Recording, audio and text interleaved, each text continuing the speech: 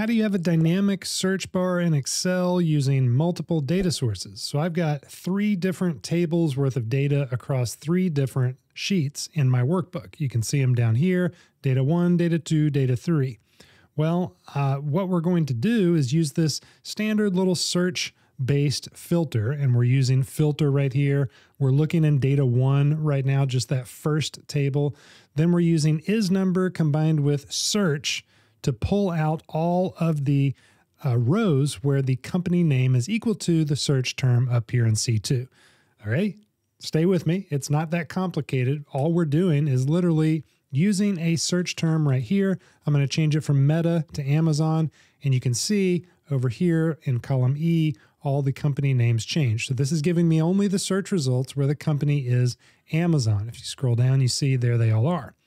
Now, that's great. Here's data one where we're pulling that info. See, we have Microsoft, Best Buy, Meta, uh, Amazon, Kroger, Home Depot.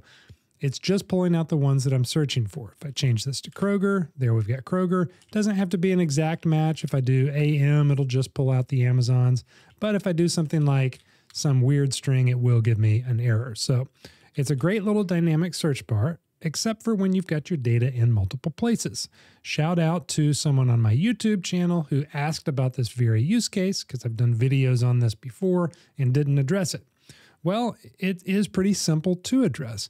What we're going to do, we're going to take this search function and I'm going to copy this filter and then I'm going to come up here. In case you didn't know, you can increase the size of this bar up here to make it easier to type data in.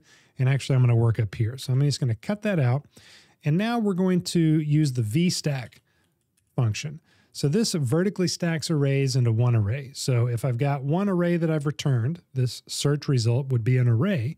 Then I can add another array and stack them on top of each other. I think you see where we're going with this. If we use this, I'm going to click Alt Enter and then write my first filter right here. We separate the arrays by commas, so I'm going to do Alt Enter and do my second filter here, and I haven't changed the details yet. We'll do that here in just a second. Close the parentheses. Now all I've got to do is change data 1 to data 2, and then the uh, place where we're searching this data company field, change that to data 2, and down here, data 1 to data 3, and then data 1 company to data 3 company. Now we're going to stack up the search results of the same exact thing throughout all three of these data tables. I'm Going to hit enter, and now we're going to type meta back in, and you can see we've got a whole lot more fields and rows of data, and they're numbered down here. The IDs are numbered. So data one goes from ID one down to ID 333 and so forth and so on. This one's from ID 334 to 666, just to prove that it's actually pulling the data in from each of the table. It is doing that.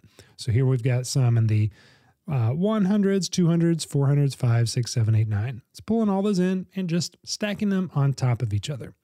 If you want this function or this formula rather, I'll leave it in the description below. You can copy and paste and change the details to suit your data. Hey, if you actually want to know how this function is working, the dynamic search part that I didn't really explain in this video, well, I got another video all about it right here.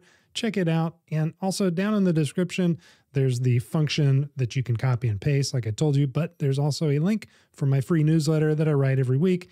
If you like stuff like this, you'll like it, I promise. Hope you have a great one. Talk to you later.